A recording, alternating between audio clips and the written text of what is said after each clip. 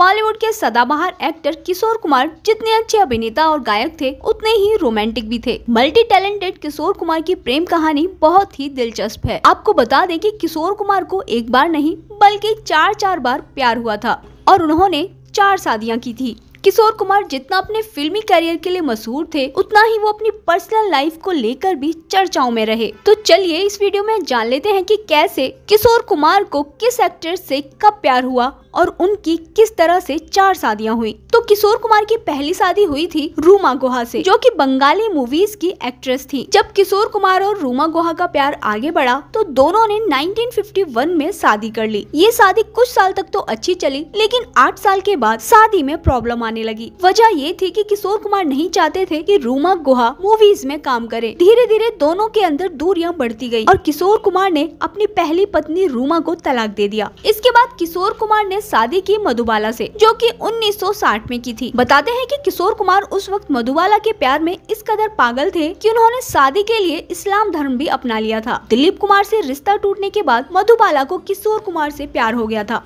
और किशोर कुमार अपनी पहली पत्नी को तलाक देने के बाद मधुबाला के साथ कई सारी मूवीज़ में दिखाई दिए, जिसमें चलती का नाम गाड़ी और हाफ़ टिकट काफ़ी फ़ेमस मूवीज़ में से थी। मधुबाला और किशोर कुमार ने जब शादी की, तब मधुबाला करीब सत्ताईस साल की थी। शादी के कुछ साल बाद ही मधुबाला को ये पता चला कि उन्हें एक गंभीर बीमारी हो गई है। उनके दिल में छेद था। बताया जाता है कि किशोर कुमार और मधुबाला शादी के बाद लंदन चले गए थे और वहीं पर उनका इलाज चला, लेकिन मधुबाला बच नहीं पाई। शादी के करीब दो साल बाद ही मधुबाला दुनिया को अलविदा कहकर चली गई इसके बाद किशोर कुमार ने तीसरी शादी की योगिता बाली ऐसी ये शादी 1976 में हुई थी, लेकिन किशोर कुमार का रिश्ता योगिता बाली से भी लंबे समय तक नहीं चला। महज तीन सालों के अंदर ही योगिता बाली से उनका तलाक हो गया और इस शादी की टूटने की वजह थे मिथुन चक्रवर्ती। जी हाँ बताया जाता है कि मिथुन चक्रवर्ती और योगिता बाली एक दूसरे को प्यार करने लगे थे। और किशोर कुमार से तलाक के बाद योगिता बाली ने मिथुन चक्रवर्ती से शादी कर ली। इसके बाद किशोर कुमार ने चौथी शादी की थी